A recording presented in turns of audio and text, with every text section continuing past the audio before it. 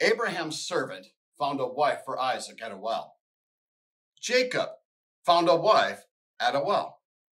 Moses found a wife at a well. Apparently, wells were the hot spot in the days of the patriarchs to find a wife. In John chapter 4, Jesus is at a well and he meets a woman. Now, Jesus doesn't marry this Samaritan woman, but she does sort of serve as a stand in for the bride of Christ, Jesus, who is the groom. Now, Jesus is in Samaria at Jacob's well when a woman comes out to get water. Jesus initiates a conversation with her, which really surprises this woman.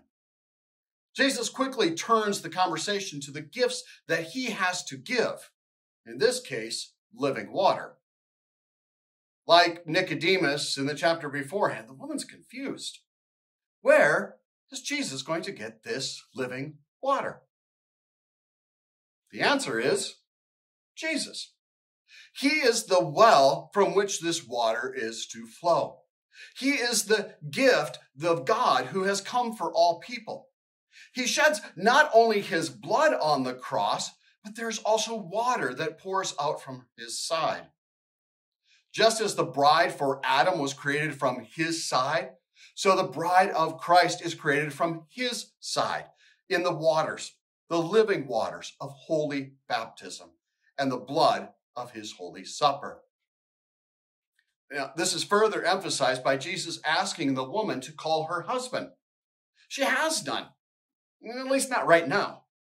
She's had five of them, plus the guy she's currently with.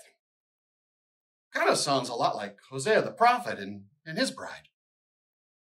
But again, this is to point us to the church, to the bride of Christ.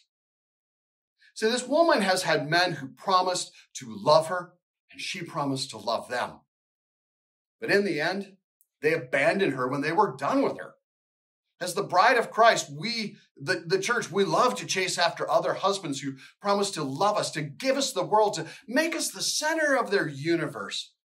But when they have used and abused us, they abandon us leaving us destitute with nothing but a broken heart and broken life to show for our devotion to these false husbands.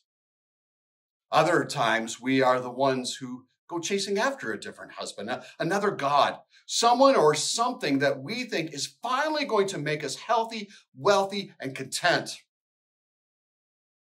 But in the end, they all fail us. Christ comes as the bridegroom who will have his bride, the church, you with all your sin, giving himself up in death, even death on a cross, to wash his bride clean in the living water flowing from his side in holy baptism, forgiving all of our sins and adultery, which the scriptures simply say is idolatry against him. Jesus has come for this Samaritan woman and for you to save you from all who would use and abuse you including your own selfish nature that seeks love in all the wrong places. Christ, the perfect bridegroom for you, to love you no matter what, by his death and resurrection. What do you value? At Concordia University, Nebraska, we value the equipping of church workers for lives of service to both church and world.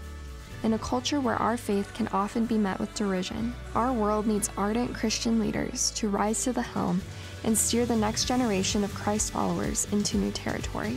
You have the God given gifts, we have the tools to uncover and develop them. We are Nebraska's university with values.